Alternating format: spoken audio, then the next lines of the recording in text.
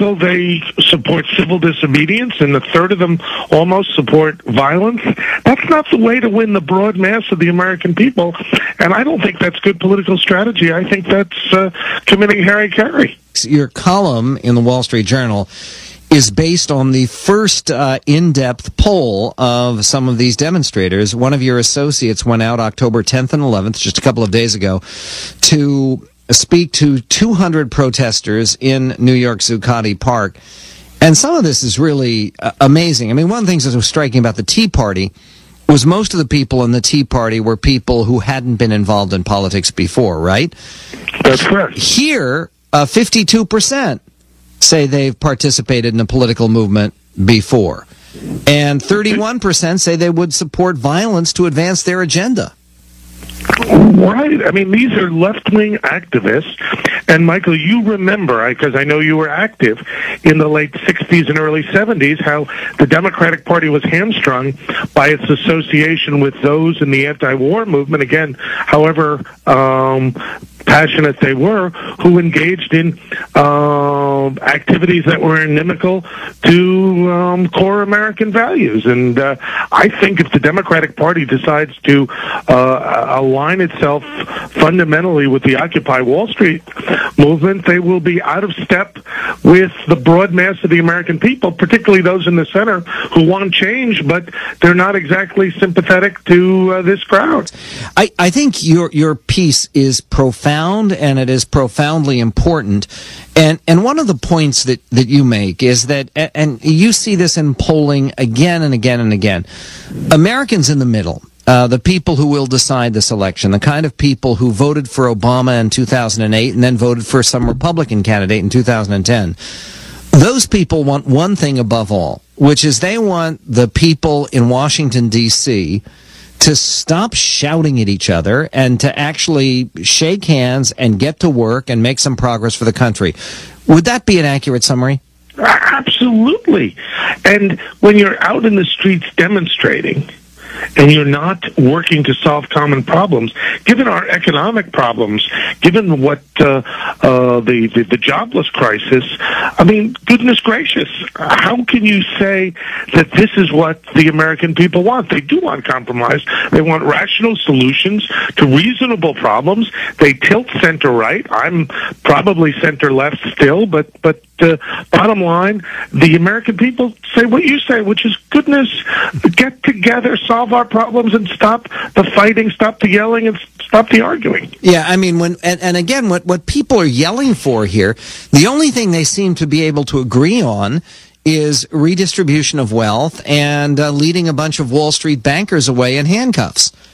Right, and while many people in the center are not sympathetic to Wall Street, they're also not looking for radical redistribution or mass incarceration.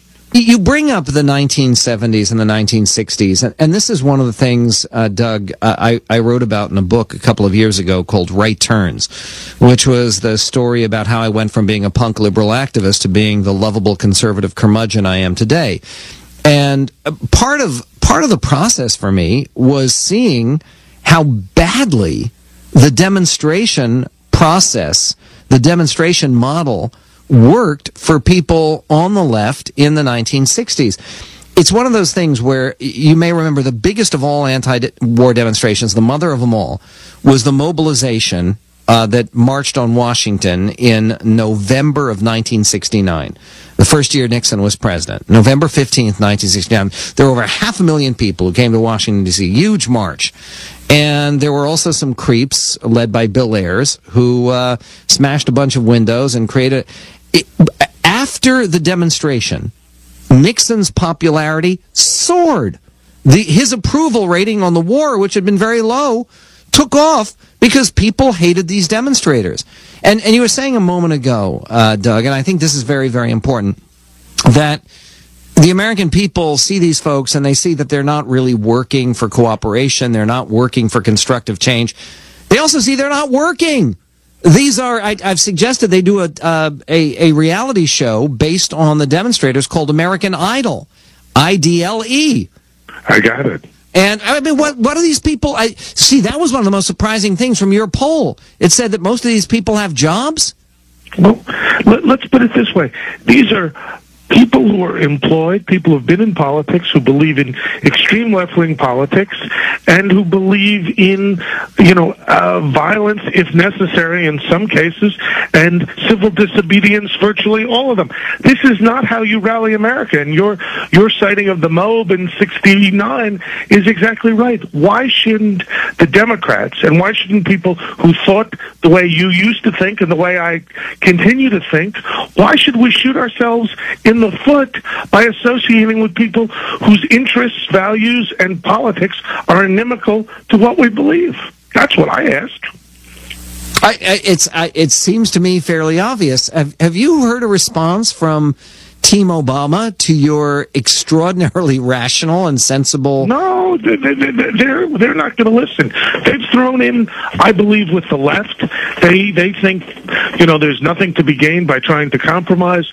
Throw in with the left, say how wonderful these uh, folks are, and roll the dice that the Republicans end up being uh, more uh, antithetical to American values. So I don't think there's going to be any attempt at compromise.